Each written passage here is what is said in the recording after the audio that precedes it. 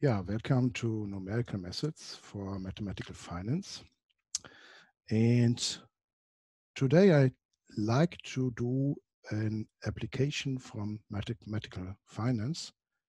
So today I like to talk about hedging in continuous and discrete time. And maybe you think a little bit, okay, this should be a uh, lecture on numerical methods. Uh, why do we have this short excursion? Or maybe for some of you, it's also a recap.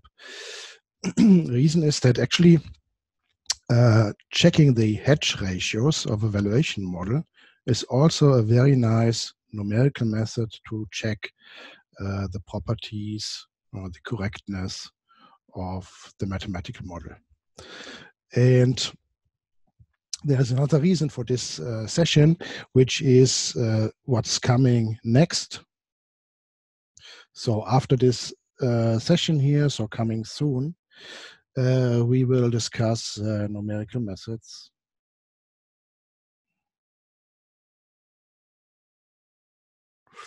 For approximating uh, the derivative, so the partial derivative dv by dx, for some function v, so for, for example, x maps to v of x, uh, which in our case is that x is, for example, a model parameter.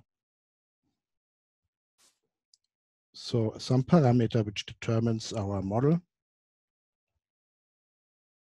And v is then the evaluation performed with this model including this parameter.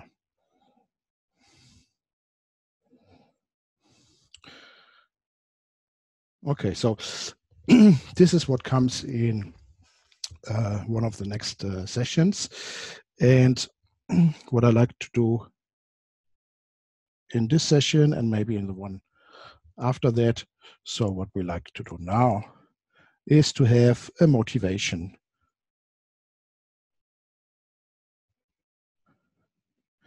So for example, why uh, calculating dv by dx is uh, of interest in mathematical finance.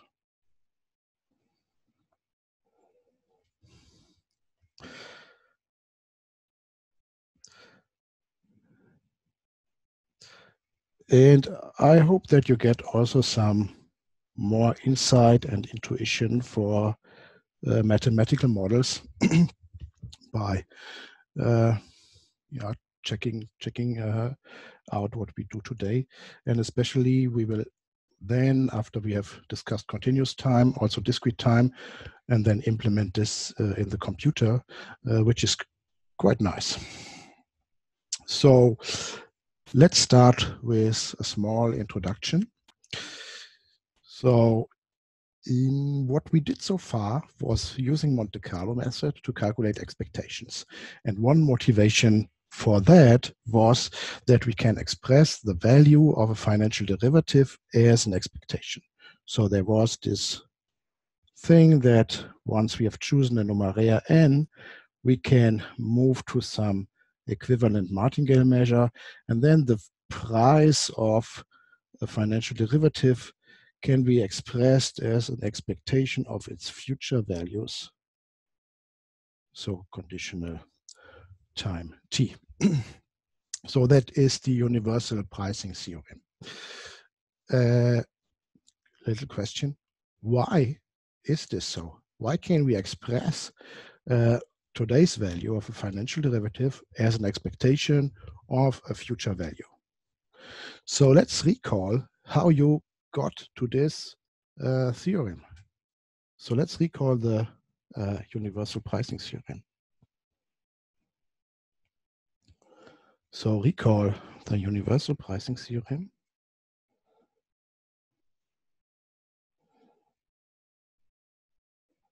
Well, better maybe universal valuation theorem.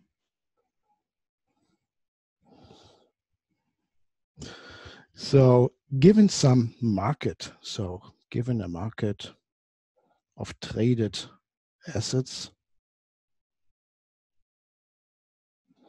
so whatever that is,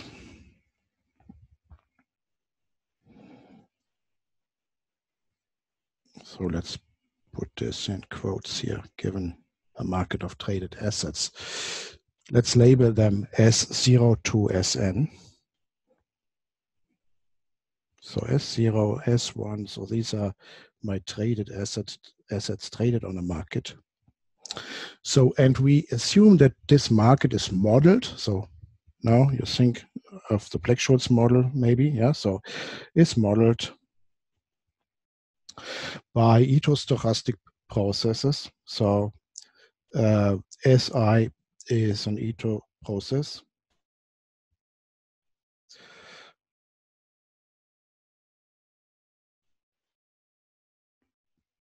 Yeah, so we can simulate our market, for example, with an Euler scheme. So then you choose a numeraire. so choose some numeraire. Uh, for example, we just take S0, so we assume that S0 can be chosen as a numeraire. Okay, so what's the next step? The next step is that once you have chosen a numeraire, find an equivalent martingale measure. So find the measure Q, find a probability measure. So find a probability measure Q such that Si divided by N is a martingale, a Q. So, and you see, because this is somehow related to the N, the measure depends on the M, and so Qn martingale.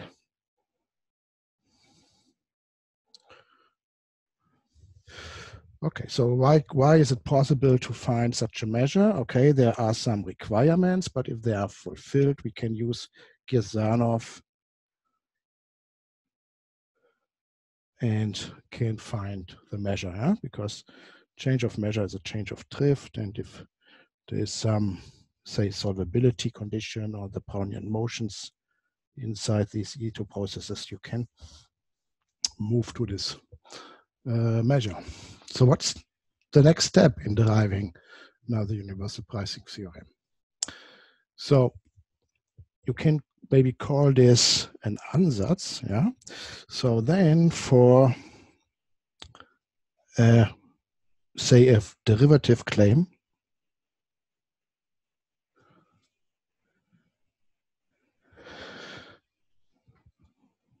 V of capital T in T, the fair value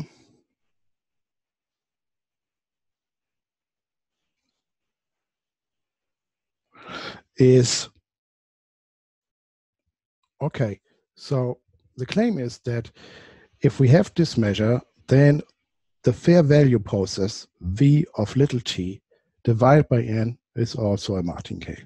So by that, if I put the n of little t on the other side, we have this expression that it is V of t divided by n of t. Okay, f little t under our measure q. Uh, yeah, so once again, why why is this? How how did you achieve this result? And actually, what does here fair value mean?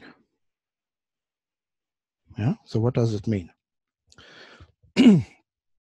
so the answer is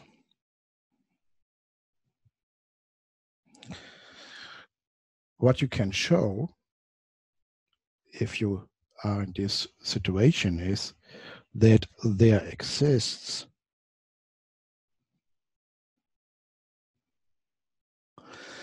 a self-financing portfolio. So I will explain these terms. So here's the self-financing portfolio.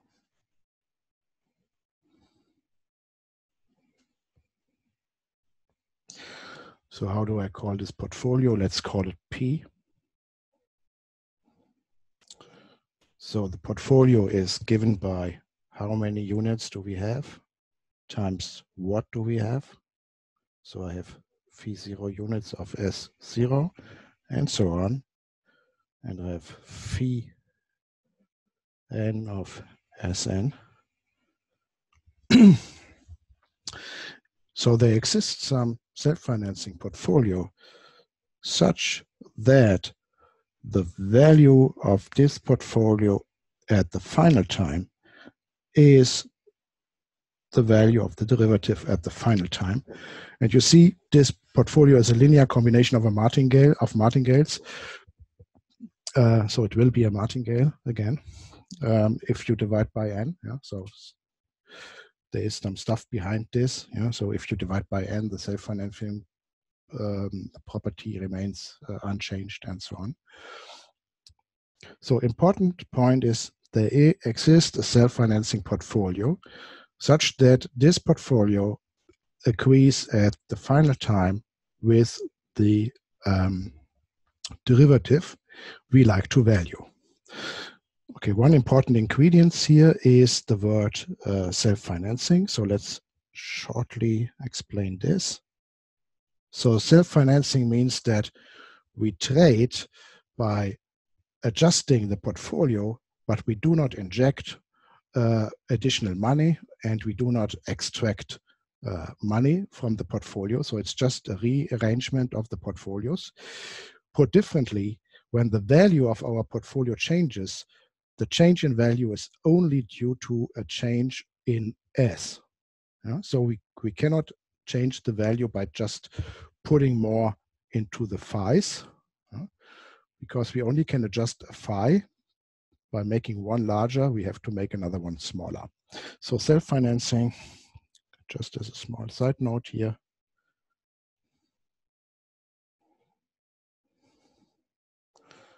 So a change in the value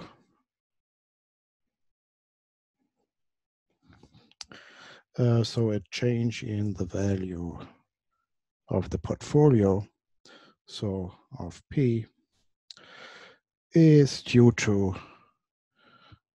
a change in S.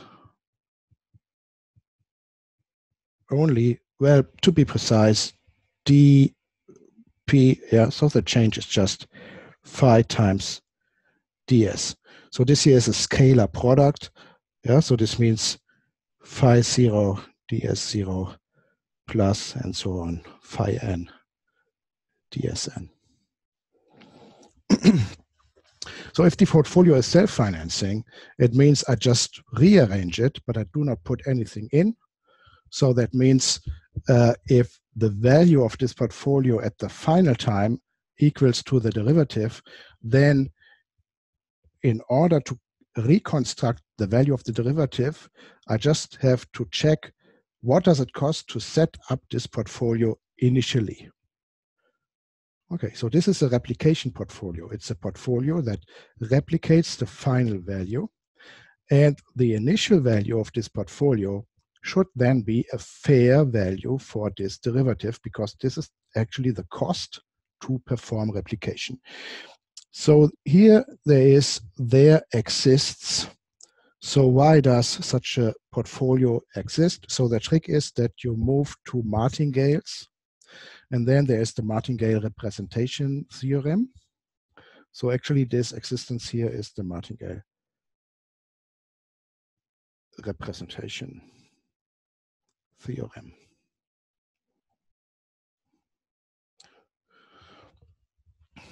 Okay, and so maybe this expectation of V capital T divided by N of T, yeah, so this guy here is an ansatz, so we construct a martingale, V divided by N. Then we know we can find by the martingale representation theorem a replication portfolio. It can be also shown that this can be done with a self-financing replication portfolio. And then you know that uh, the initial value of this portfolio, which agrees with the V of little t, is a fair value. So that's how actually this formula here on the top, yeah, this expectation is uh, derived. And having derived it, it is sometimes forgotten that behind all this, there is the replication portfolio. So an important aspect, so which I would like to stress, yeah, is that this whole evaluation theory relies on the fact that you perform replication. So let's highlight this here a little bit. So we have some evaluation theory. So we have some models, a complete market, and so on. Yeah. We have this nice little formula. Today's value is the expectation of future value. Yeah. So numeraire relative everything. So, but this one relies on the possibility that we replicate the financial derivative by a portfolio of traded assets. Okay, so why maybe um, we don't need the replication portfolio yeah, to value the derivative. The assumption that you perform the replication is behind all this, which means that actually if you do not perform a replication, this is maybe not the correct value, uh, the, the correct way to value the financial derivative.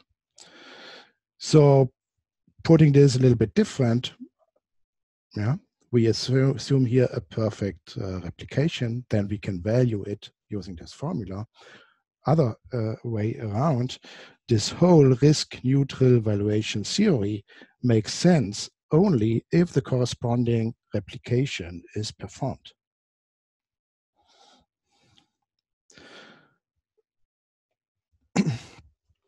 so this means if a bank sells a financial derivative to a client, so we sell V to the client. So the client is holding V, yeah, the payment V. So the bank is holding the payment minus V, yeah, because it has sold V. Yeah.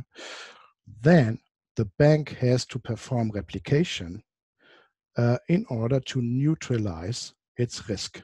Yeah. Or put differently, if the bank used this method to value the financial derivative, the bank should uh, perform replication. So it should contract, con construct a replication portfolio. So the bank sells um, a derivative at the price V of T0 means that the bank has to manage its risk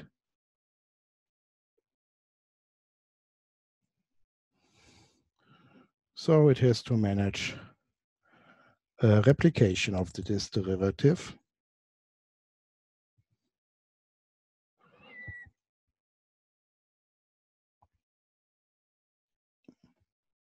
to neutralize its risk.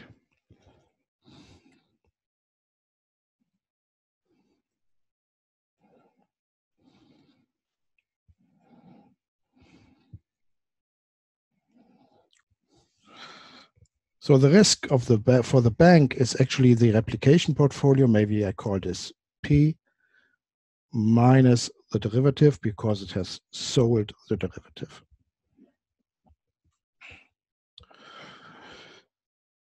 So this strategy is called uh, hedging. Yeah. So definition for a hedge, so a replication portfolio, which is almost replicating a financial derivative, such that if we consider the short position of the financial derivative plus this replication portfolio, uh, and this package is then neutralizing the risk, uh, this is called um, a hedge, and the corresponding trading strategy is called hedging. Okay, so if I go back here to this slide, you saw that these were the steps uh, how you derived this risk neutral pricing formula, yeah, or this universal pricing theorem. And inside there was the martingale representation theorem, which told us there exists a self-financing portfolio. But actually, we don't know how the portfolio looks like. Okay, so in order to being able to apply this uh, theory, uh, I do not know how the replication portfolio looks like. I just have the nice expression. It is an expectation. The value today is an expectation of the value at the future point in time. But this conclusion here tells me that the bank or whoever is now performing the replication has to know the replication portfolio. So that means if I like to do hedging, how do I actually get the replication portfolio. So it turns out that we can do it in a different order. So first we apply the valuation theory. We just know that the replication portfolio exists. And once we have the valuation, we can derive the replication strategy. So I would like to do this. And I will also very often maybe use the Black-Scholes model as a nice uh, example. okay, so how do I derive the replication strategy from the valuation uh, theory? Yeah? So this is the situation we had just uh, mentioned. So given here a market, which we consider to be modeled by Ito price processes. Let's choose here one asset as a numeraire. So assume that n equal as zero is our numeraire and we are under the corresponding equivalent martingale measure. Then we have that we can express the value as uh, this expectation. And the question is,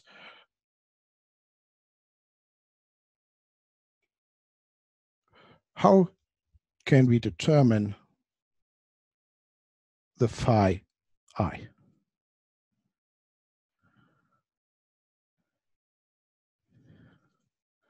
So I like to find phi i in a replication portfolio, so which is a linear combination of my market traded assets.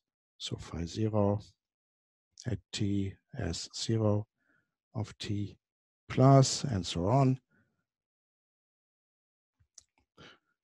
Such that this portfolio, so this linear combination, uh, let's move this here a little bit, agrees with my derivative. Yeah.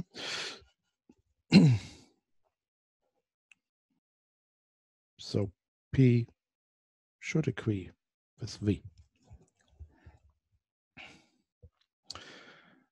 So in order to do this, assume that I can write my value of the derivative product as a function of time.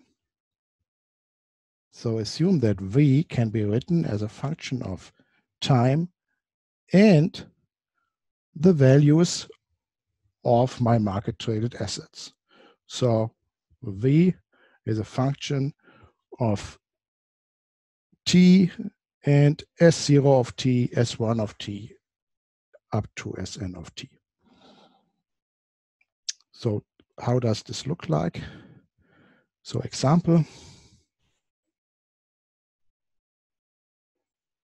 So we are in T0. No? So this means I'm looking at Si of T0. So now my SI are stochastic processes. I have a model. I start in zero, in, in T0. So these are just the initial values of my Ito processes.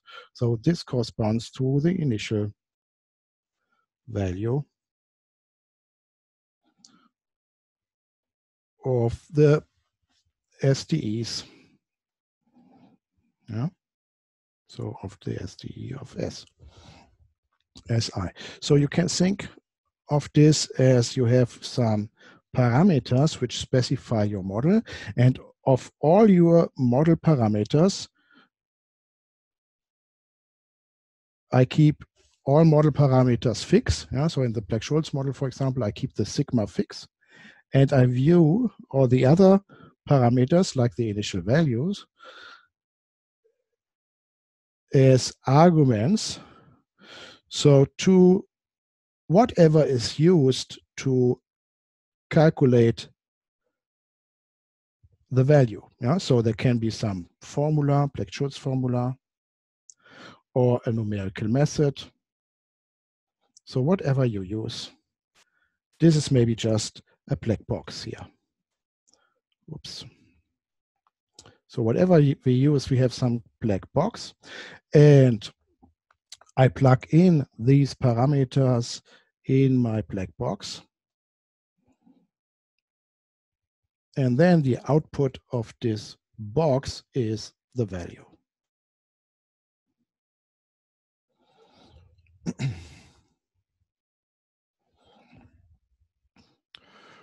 okay, so um, I just interpret this as um, a function of these uh, initial values of the stochastic processes modeling my my market. Yeah? So maybe I have a small abuse here of notation. Yeah, so v of little t is the same symbol as v of these uh, um, arguments. So let's assume that I can write my um, derivative as this uh, function. Now turning to the replication portfolio, I'm seeking a self-financing replication portfolio P of T yeah? So P of T is a replication portfolio. So what does replication mean? Replication means that the portfolio value agrees with the derivative value. Yeah? So that's replication. Then I have a portfolio. So which means that P is a linear combination of my market traded assets with coefficients which describe uh, what's inside my portfolio. So maybe I make a small remark here. So portfolio. So phi of t is the amount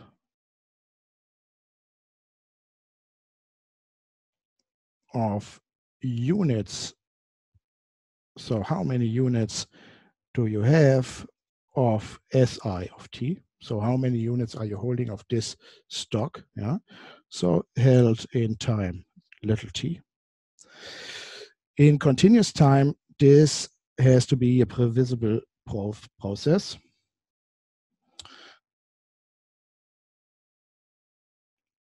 Or predictable. So well, maybe now you can look up the definition. Okay, what was previsible, predictable? So it means that it's adapted to the um, filtration of so the previsible uh, filtration, yeah, so generated by the left continuous uh, processes. But maybe this does not give you a lot of intuition since we will later discretize this situation in the computer anyway, um, it's maybe nicer to have a look at the discrete case, the time discrete case. So for a discrete, time discrete process, So let's look at a time discrete process. So I'm only looking at phi i at discrete times tj. Yeah. Then actually this means previsible means that phi i at tj plus 1 is f tj measurable. So it means that in time tj, you already know the portfolio setup for the next time step. So this is how actually trading would evolve. Your stock moves with a random increment, a delta W, which is uncertain to you. Yeah.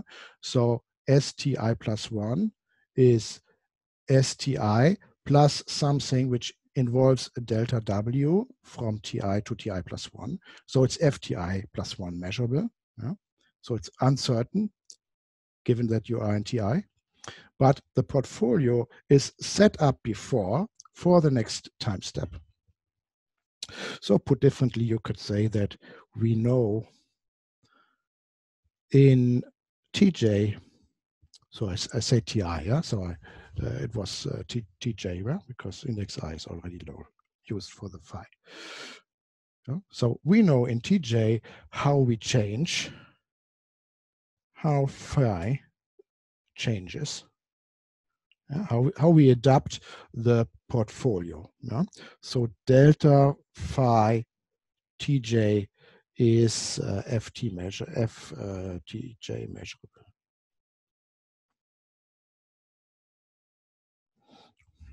Yeah, so I, I, I, I define delta phi as a forward difference, yeah, like for the Brownian motion, phi at tj plus one minus phi at tj. Okay, so this is our portfolio and also uh, how we how we perform uh, trading, yeah, the trading strategy. Then maybe I should also add again a small remark on self-financing. Oh, I had this before. So I have a self-financing portfolio here.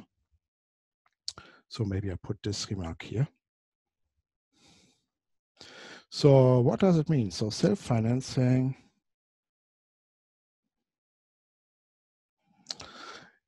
the change of the portfolio is only due to the changes in the underlying instruments in the assets. So the change dp is due to ds only. So this means that dp is phi scalar product ds.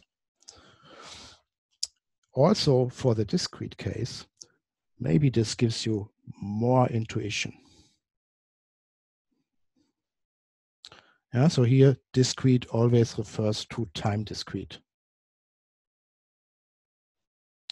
So maybe I make this uh, remark. So let's use here discrete. So this is time discrete. So if you consider discrete time steps, if we discretize over time. Okay, it means that the change of the portfolio, so this means if I look at the portfolio at a later time, so tk plus 1 minus the previous time tk, then this is only due to a change in S. So as I illustrated, how do we trade? We rearrange the portfolio and prepare it for the next time step. So this is the portfolio as it has been prepared for the next time step multiplied with the change in S. Yeah. So this is also a scalar product here. Yeah. So it's phi zero times delta s zero plus phi one plus times delta s one and so on. So this is the delta s um, tk. Okay. And actually you can directly calculate uh, p at tk plus 1 is phi tk plus 1 times s tk plus 1. So this is the first part if you multiply phi with delta s. P at tk is phi at tk times s at tk. So you see that this actually implies that the delta phi, so the change from phi tk to tk plus 1 times the stk has to be 0.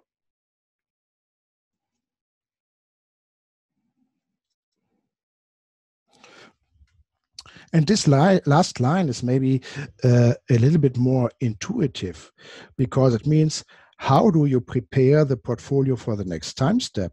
You prepare it by rearranging it But when you rearrange it, uh, you do not add money or extract money. It's that you uh, lower a value of one part by increasing a value in another part and vice versa. Yeah, so you sell that many units of S0 to buy that many units of S1. And in total, uh, your transaction has not added something to the portfolio. So this is uh, the situation. And now the question, how can we derive the phi?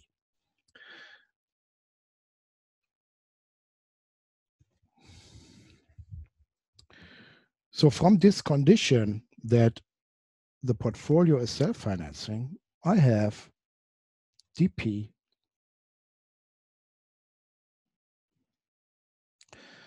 is equal to phi times ds. So this means that the sum over all my assets phi i dsI. Okay, then if I go back here, I have that I now interpret the V as a function of the stochastic processes S. So well, I, I, I mentioned it is a function of the initial values. Yeah? But now I view little t, the time parameter, as moving. Yeah? So it is actually a function of the stochastic processes. So this means we can apply Ito's lemma to this function.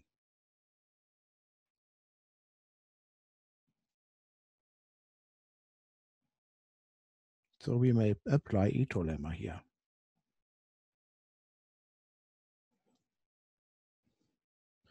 Yeah, so that's um, here star that this is a function and we can apply Ito's lemma.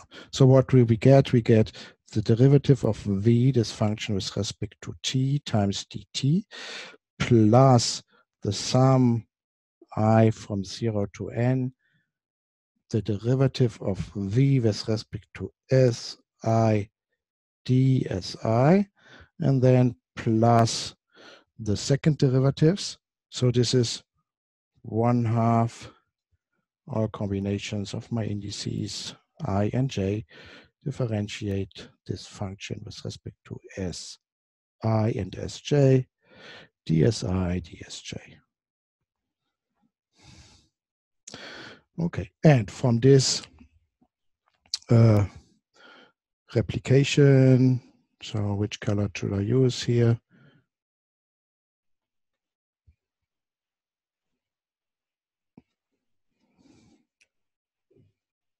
If the portfolio and the derivative are the same, the changes are the same. Okay. So from that, I can include conclude that actually the stuff here has to agree. And if you now look carefully, you see that hmm, maybe these guys here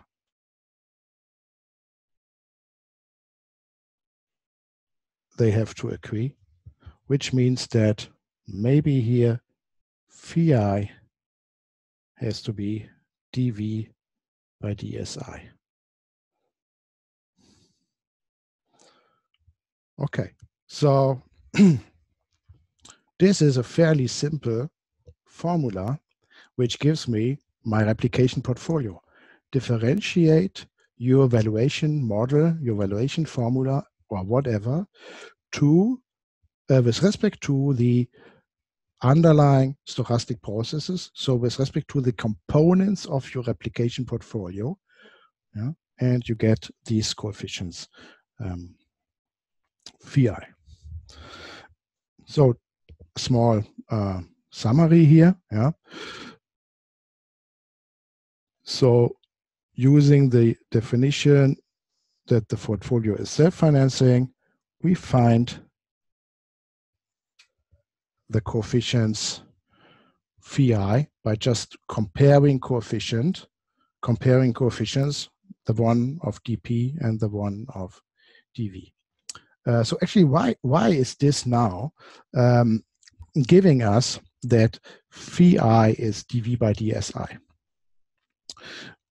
Okay, so you see there are two other parts here. There is dv by dt times dt, which is a dt part. Then um, there is the second order term from Ito's lemma, but this second order term is a gamma ij dt. Yeah, so the gamma ij dt is actually the sigma i sigma j rho i j dt if the stochastic process s i has some dt part plus a sigma i dwi. Sigma i can be a function of s again and whatever. Uh, can be complicated. Uh, dwi, dwj is rho ij dt. So you see there are just two dt parts. And if Si is a stochastic process with a Brownian motion, dwi, maybe just think of your Euler scheme, there is a delta Wi inside this uh, stochastic process. So you can draw a random number. So the Brownian motions, if they have some independence, you can create uh, enough independent equations such that this has to hold. Uh? So this is just uh, comparing uh, coefficient. And you also maybe see uh, hidden here that the market has to be complete. Yeah, so there has to be a Brownian motion in all these SIs except then uh, except one. Yeah, um, so that's that you can solve this uh, equation. Okay, so um, yeah, now we have um, this formula here to get uh, the coefficients in our replication portfolio. So conclusion is that the replication portfolio can be calculated a posteriori. So after we have performed or set up our valuation uh, model, So it, it's uh, a very nice result. Yeah, to get the universal pricing theorem, we just needed the existence. We have now a nice uh, way of calculating the the value, and we can now a posteriori calculate the replication portfolio by calculating partial derivatives with respect to the um, un underlyings, or in our case, then the initial value of the stochastic processes. Okay. Um, so there was another part in my derivation. I, I did a comparison of the coefficients. Yeah, so you see here the two red parts. I made comparison of, of the coefficients. So I compared the coefficients in front of the DWs. But there's also another part, which is the DT part. So there's a second result which pops out from this derivation, which is that the stuff in front of the dt has to be zero. Okay, so the reason is that there's no dt part in our replication portfolio apart from the dt, which is part of the ds. There is no additional dt. So why, why? Actually, why there's no additional dt? Because we do not inject money or extract money apart from the changes that come from ds. Yeah? So there's no additional dt. So there's no additional dt in the replication portfolio in the dp, which means that all the dt's in the dv part have to add up to zero. So we get a second result here, which is that this guy is zero here. Okay, so maybe have it like this.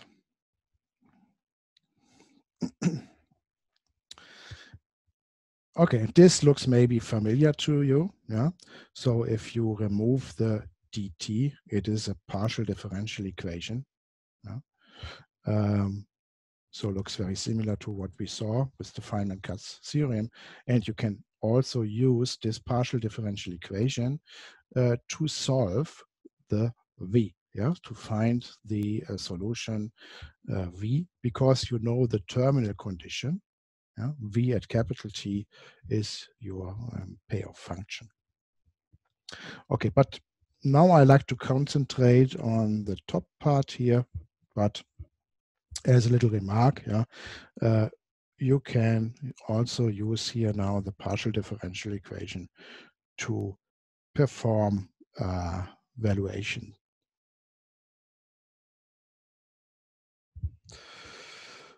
Okay, so let's uh, have a small example yeah, before we continue. Uh, let's look at the Black-Scholes model yeah, and what is the replication portfolio for the Black-Scholes model for the valuation of a call option. So here I have Black-Scholes model. Uh, you see there are two financial products. There is the savings account N, which we use as a numeraire. And there is the stock S, which contains a DW. Okay. So um, then you see that I have written it not yet under the equivalent martingale measure. So if we choose n as the numeraire,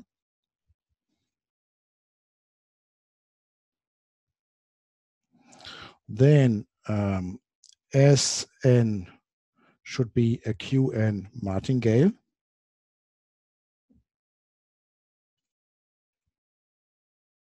So if we move to the Qn measure, so this should be a Qn Brownian motion, it means that mu is equal to R. Yeah? So I have an R here. Yeah? Actually, I use R bar and also sigma bar to just indicate that they are constants. Yeah, in, you can also write the model with time time dependent parameter. So maybe, but here it's enough to just use constant coefficient. Okay, so let's uh, try this uh, theory. So finding the replication portfolio uh, for this model when we look at a European call option with strike K and maturity T. So this means the payout of this is known at maturity capital T. It's maximum of ST minus K and zero. And you know there is the Black-Scholes formula which you can derive. So calculate the expectation under a log normal distributed uh, of a log normal function of a log normal distributed random variable. So this can be derived and it gives us the value of this option at, well, say T0 so, but for now, I would like to know the value at all times. Yeah, but this is just a change in the time to maturity. So I like to have the value v at time little t. So the value at time little t is this um, uh, formula here, which is the Black-Scholes formula. So S at the time at which you evaluate the product times capital phi d plus. Capital phi is the cumulative distribution function of the normal distribution minus exponential minus r bar t minus t. So this t minus t is the time to maturity. So here, here, and here we have the time to maturity.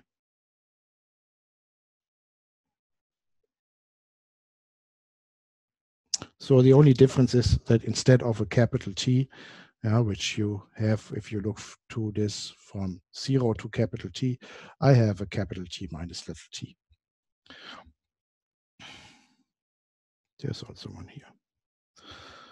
Okay, and uh, now I have to interpret this as a function of the quantities which describe my market yeah. So for example, this should be a function of the initial value of my stock price process.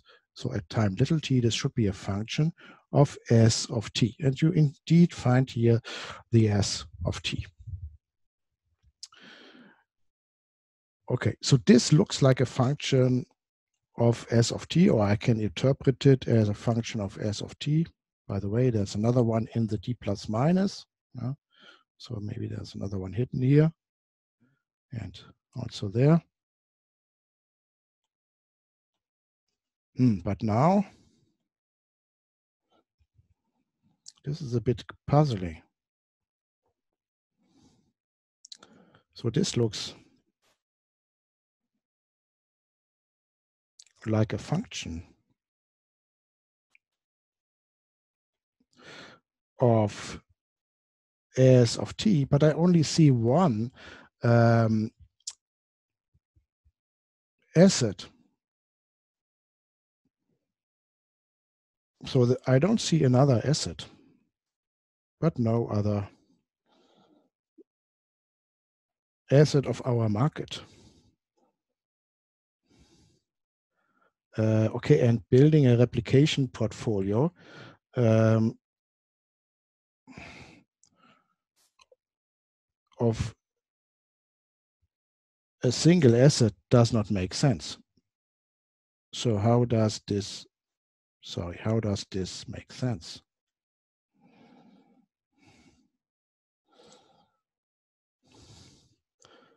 Yeah, so I mean, it's quite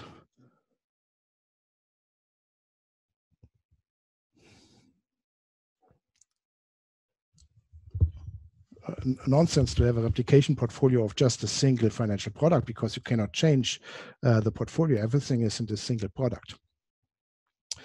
Okay, so uh, there is another um, asset hidden in this formula, and we have to maybe rewrite this uh, formula. Okay, so note, so the numeraire n of t divided by n of capital T is exactly this expression exponential minus r t minus t.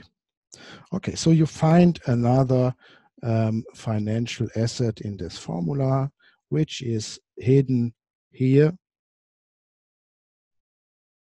And also it is hidden here because this guy here is just the logarithm of, okay, it's flipped, n of capital T divided by n of little t. So you can rewrite this formula as a function of two market products, maybe. Okay, still I'm not uh, very happy, but if you, if for example, if you look at this um, um, expression here, which is now here and here, so I have replaced this, yeah, so you can move uh, this logarithm here together with this logarithm, yeah? So logarithm a plus logarithm b is logarithm a times b.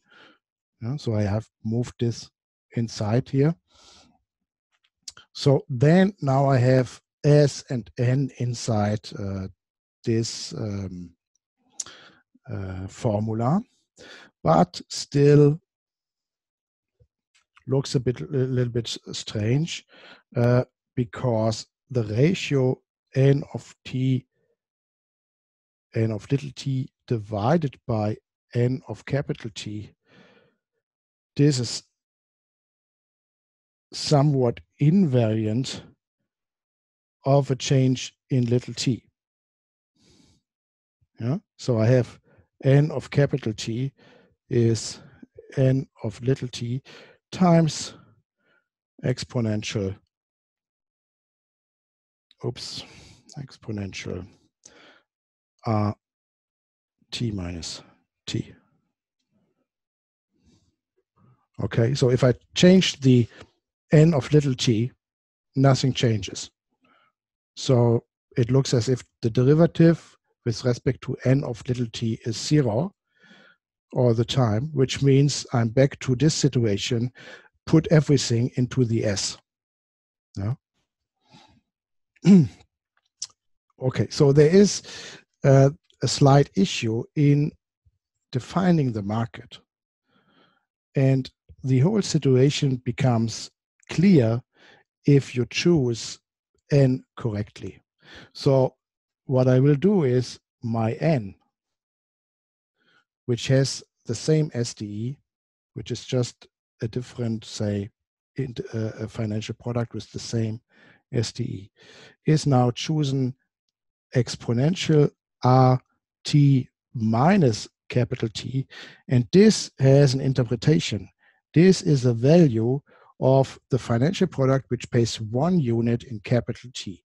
And I keep this value, uh, this interpretation fixed. Yeah. So I would like to have uh, paid in capital T uh, unit one. So this means n of little t is the value of a zero coupon bond.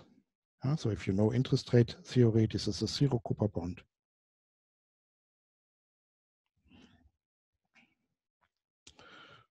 with maturity capital T. Okay, and now if I say I would like to change the value of the zero coupon bond, it actually means that I like to change the interest rate. Yeah. So now the whole confusion is actually solved. And if n of little t is the value of the zero coupon bond, it means that n of capital T is equal to 1.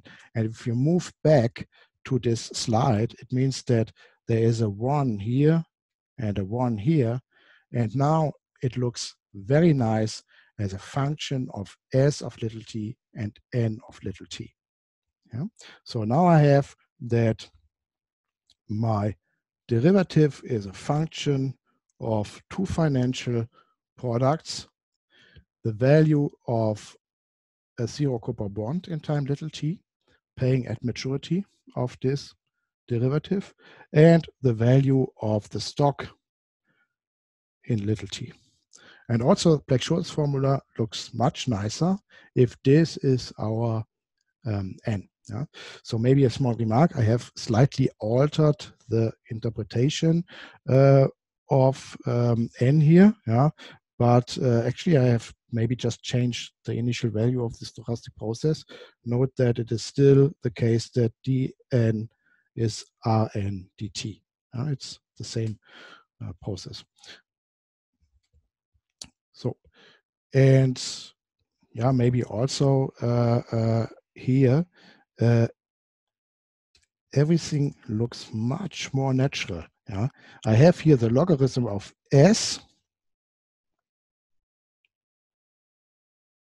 divided by n and how many units of s are exchanged against a payment of one unit so a payment of the zero coupon bond, I'm actually exchanging one unit of the stock with k units of the zero coupon bond. Yeah. So getting k in capital T is k units of the zero coupon bond. Okay, so the formula looks very nice, very uh, symmetric. We exchange S against K units of the zero coupon bond. So in this form, Black-Scholes formula is already like we need it. Yeah? So um, now to calculate the replication portfolio, I just need to calculate the partial derivative of this function v with respect to the n and the partial derivative of v with respect to the s. And this tells me how many units of the zero coupon bond do you need and how many units of the s do you need. let's try this. Yeah. So just uh, uh, uh, perform uh, the calculation. Uh, so we have dv by ds. So maybe I need to copy a little bit uh, the Black-Scholes formula. So now our Black-Scholes formula is t as a function of s, so v as a function of t, n, and s. So I have that this is s times capital phi d plus. So capital phi is the cumulative distribution function of the normal distribution, and then it's k times n, k units of the zero coupon bond times capital phi d minus, where d plus minus, uh, oops, d plus minus is some model parameters and the time to maturity product parameters multiplied with logarithm of the ratio of what we exchange. Plus minus sigma squared uh, t minus little t half. Yeah, I believe it's half. Let's check. Yeah. okay. So I need to differentiate this with respect to S.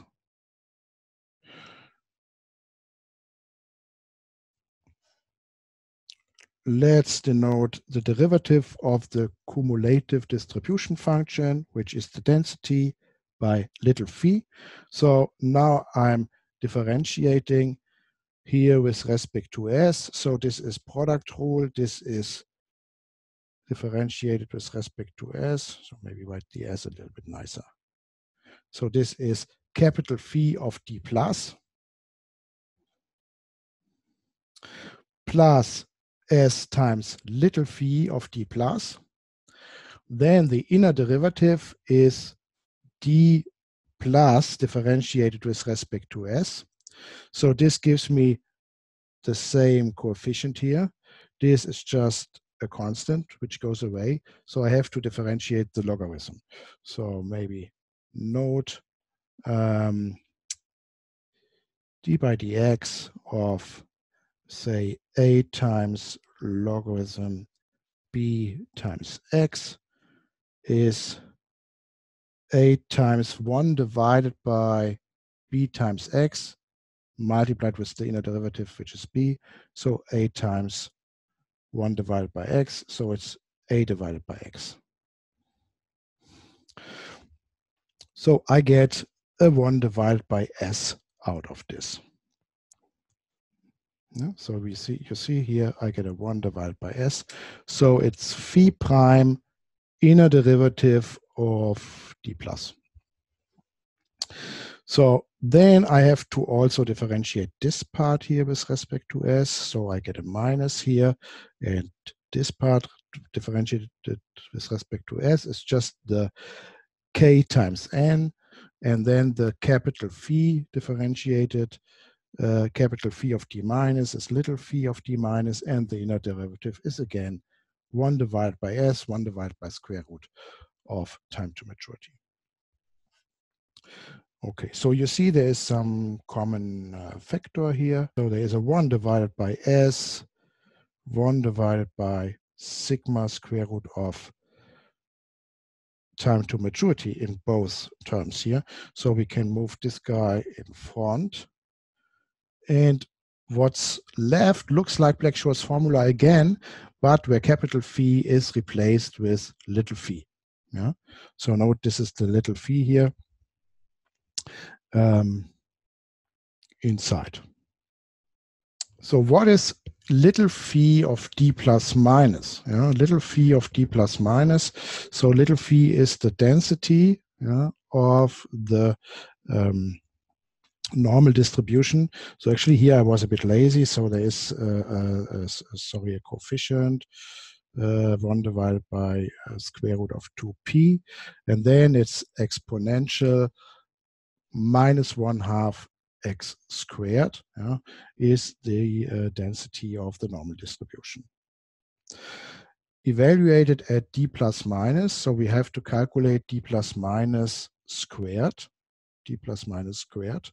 So d plus minus is the logarithm of s divided by n times 1 divided by k, then a plus minus the sigma squared t minus t half. So I get three terms. It's the logarithm part squared. It's the sigma squared t minus t half squared, which is sigma to the power of 4 t minus t squared divided by 4. And then it's, because it is a plus or minus, it's plus minus. Yeah, so depending here on the d plus minus, I get a plus minus here, 2 times the logarithm times sigma squared time to maturity half.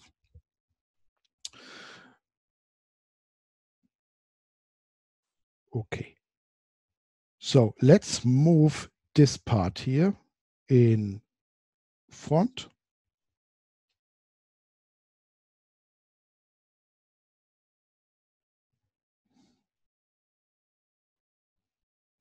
Okay, so let's move this part in front.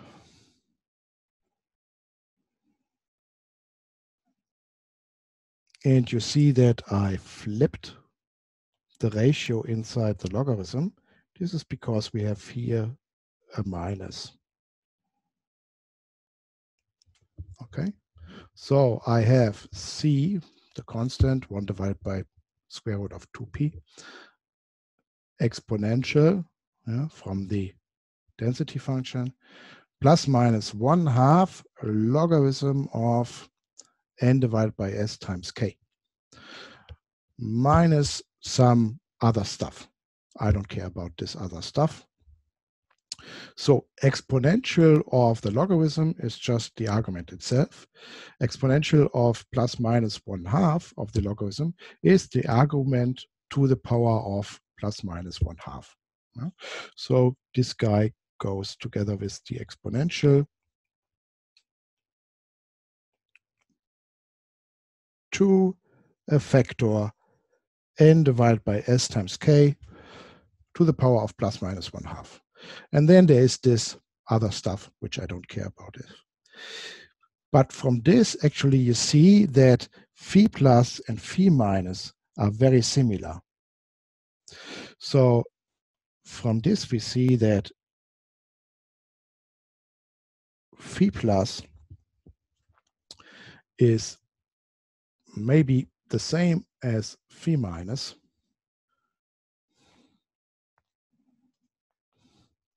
multiplied with some factor. Yeah. Okay, so let's let's write it the other way around. Phi of d minus, little phi of d minus, is the same as little phi of d plus. And what's the factor? So there is a 1 divided by square root in front of the d minus. There is a square root in front of the d plus. If you move the 1 divided by square root from the d minus to the d plus, it is just the argument itself. So it is n divided by s. Oh no, it's the other way around. So which one is the d plus? Uh, yeah, it is s divided by n. Sorry.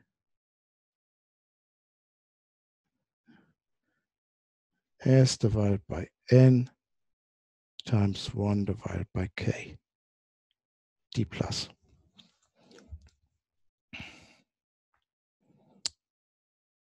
Yeah, I'm I'm I move the guy from the d minus to the d plus, then it is like this. Yeah? So I multiply everything with um, 1 divided by square root of this argument. Okay. And I don't care about this other, other part here. So I have a nice relation between the little phi d minus and the little phi uh, d plus. So we get this relation here. And now if you go back to this equation, you see here inside there is s times d plus s times little phi d plus nk times little phi d minus.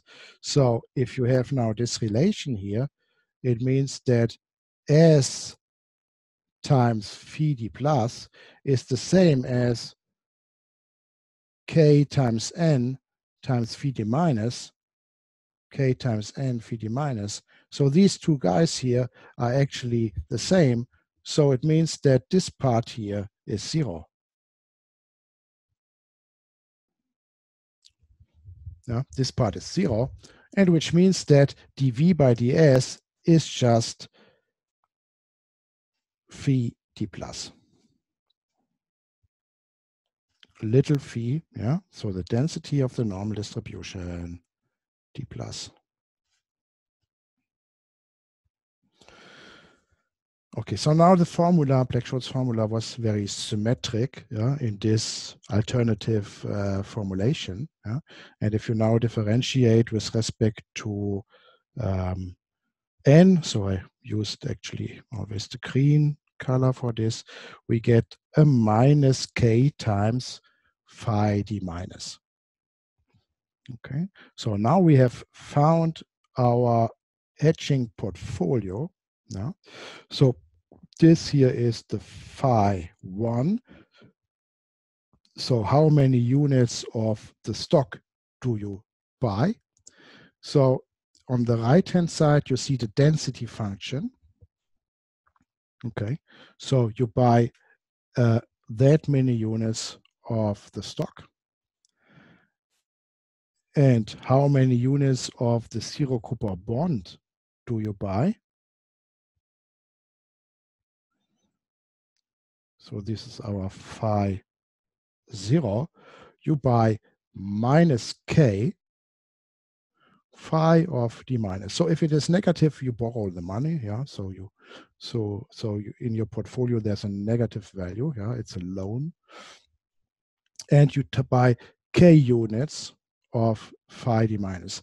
So if actually my my n would be the financial product which pays k in capital T, yeah? So I just would have scaled uh, it. So then here it would just tell me minus phi d minus units of the product which pays k in time um, capital T. Yeah. So in this case, Black-Scholes formula would even look look nicer. Yeah. And we get very symmetric ratios here.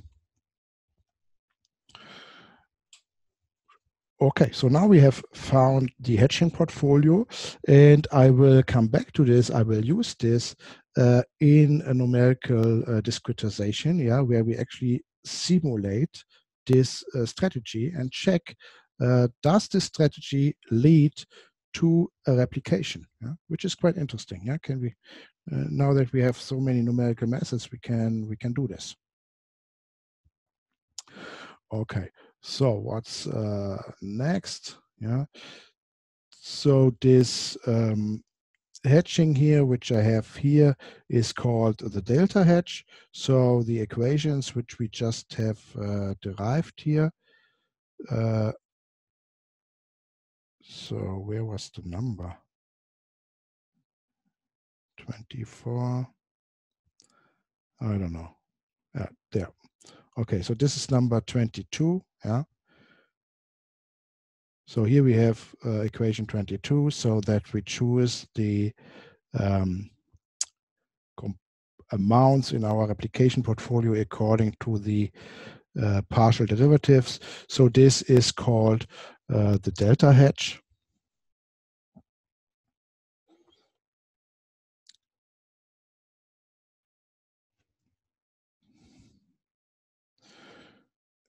And well, what we have seen is that in continuous time, the delta hedge produces, yeah, under certain assumption, a perfect replication of your financial derivative. So there wouldn't be the name delta hedge if there weren't other hedging strategies.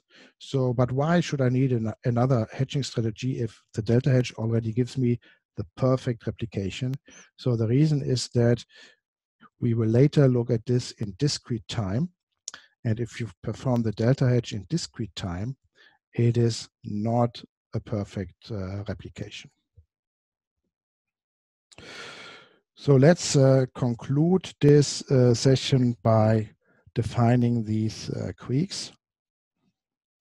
Okay, so the partial derivatives of the value of a financial product uh, with respect to model parameters, or sometimes also maybe with respect to product parameters, are uh, very important quantities. Yeah, they they give you the dependency of the financial product, the derivative v, on your input parameters. So how does the product change? So what is the risk of the product? Yeah? If the product does not change, it has no risk. Yeah? So these uh, guys are sometimes called uh, the Greeks and denoted by more or less uh, Greek letters. And some of the guys which I have here are a little bit tied to the Black-Scholes model situation or the equity model. So first definition, the first order partial derivative is called uh, the delta. So that is here the first order partial derivative with respect to the underlyings is called the delta. So this is dv by ds.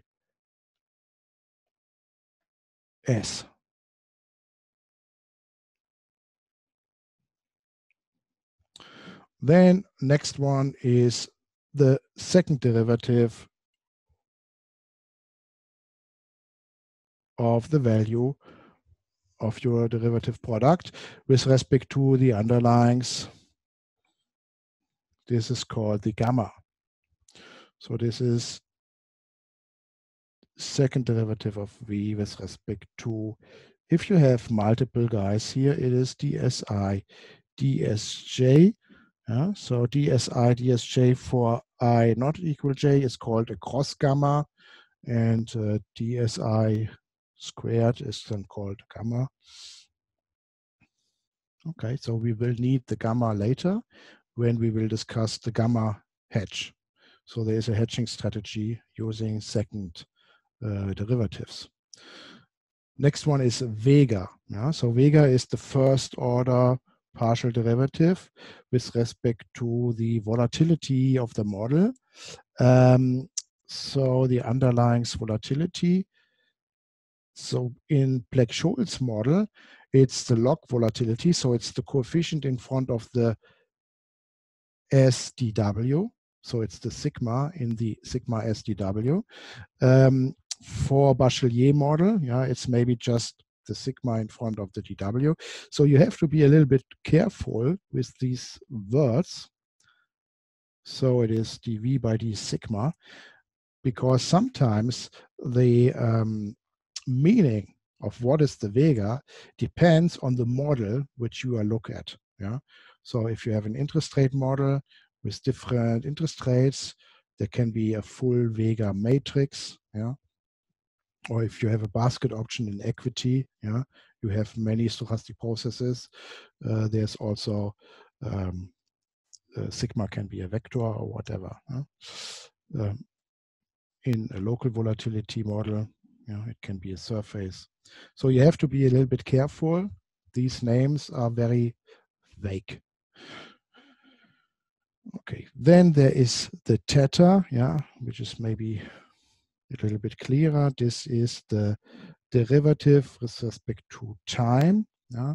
Maybe you have to be careful if it is time or time to maturity, which will flip the sign if it is the plus or minus. Yeah? Is, this, is it the capital T minus little t, or is it just the little t?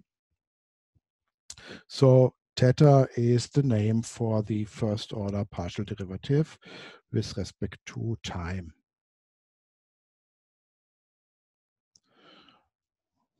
Okay. Next one in this list is the rho. Okay, so the rho is the first order partial derivative with respect to the value of R, the interest rate. And also here, the remark, this is a little bit tied to the Black-Scholes model. Yeah? In the Black-Scholes model, R was a model parameter like sigma. Yeah? So maybe it makes sense to uh, define or, or look at dv by dr. But note that in the way I wrote the Black-Scholes model, which is maybe a little bit special, yeah, with the stock and the zero coupon bond, there was no model parameter R. So if we go back, so where was that? Uh, so maybe somewhere, yeah, here, when we rewrote this in this form, you see there is no R left. Yeah, there's just the N and the S, and it's, it's the much nicer form of the Black-Scholes model for the stock if you write it in this form with the zero coupon bond and the stock. And then for the Greeks,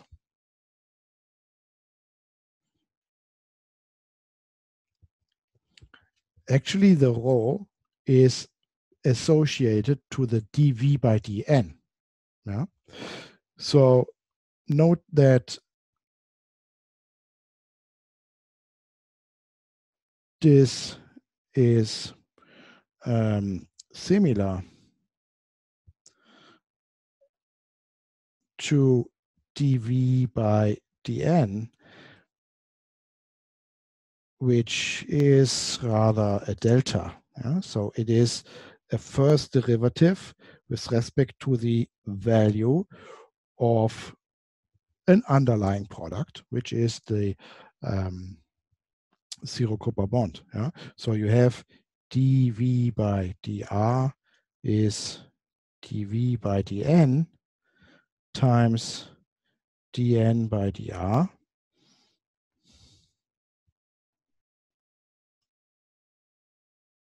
Yeah, and our n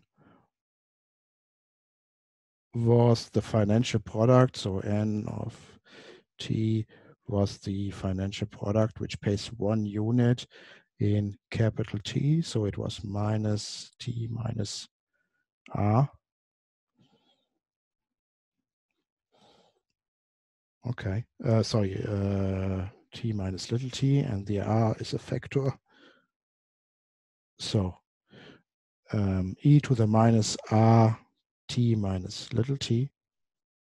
Yeah. So if you if you differentiate this with respect to r, so what do we get? So d n by dr is minus r times n.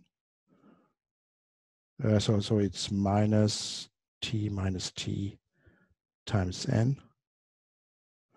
Uh, so you see that this is just, um, if you continue here, dv by dn times t minus capital T times n. Or if you place a minus here, maybe it's nicer with time to maturity. It's just a scaling of, of a delta. Okay. So this rho, yeah, is uh, maybe just um, another uh, delta, yeah, and uh, expresses in the Black-Scholes model, it's the partial derivative with respect to the interest rate. In an interest rate model, you wouldn't consider it, yeah, you would just talk about the delta. Okay, so you can calculate the Greeks for the European option under the Black-Scholes model. Yeah, so maybe I don't do this uh, calculation for all these Greeks. Uh, note maybe here on the slide, I use the classical numeraire, yeah, the bank account, the savings account numeraire. So in the previous derivation, I switch to the zero bond interpretation, which is much nicer. So, but this is how you find the Black-Scholes model in, in the literature. Uh, often, yeah, so then N is the savings uh, account. okay, with the d plus minus defined like this in this case. Yeah. And here is a list of some of these um, Greeks. Yeah. So the delta, uh, which we have derived, so I believe I used the red color for the dv by ds, is just little phi of d plus. And you remember that we derived dv by dn, uh, which was k times phi of d minus, and you recover it a little bit here in the rho. Uh, so here you have the um, k times little phi of d minus, which is the dv by dn. Yeah? And you see the, the factor in front is a capital T, which is minus minus um, T capital T minus zero, uh, and uh, and an N, yeah, as, I, as I've just derived. Okay, so these uh, are the Greeks. Now, next step is perform this hedging in discrete time. So you see we will do delta hedging in discrete time. So discrete time steps like uh, I have interpreted with the discrete replication, time discrete replication portfolio. So we have a time discrete self-financing condition. And I will take a look at what happens if you do this replication strategy in discrete time steps. So delta hedging was perfect for continuous time trading, but a trader cannot trade in continuous time. So what happens if we perform hedging using these deltas as the continuous time theory would suggest, but we use it only in discrete times. And then we will see that there is an error due to this discretization, like a discretization error. There's also an error propagation because in every step we make an error in our replication and the portfolio is self-financing, so this propagates to the next um, time step. And then we can discuss how you can improve this. And actually, you can improve this by also performing a hedging using the gamma. And we have some nice uh, computer experiments with this. Thank you. That was it for today.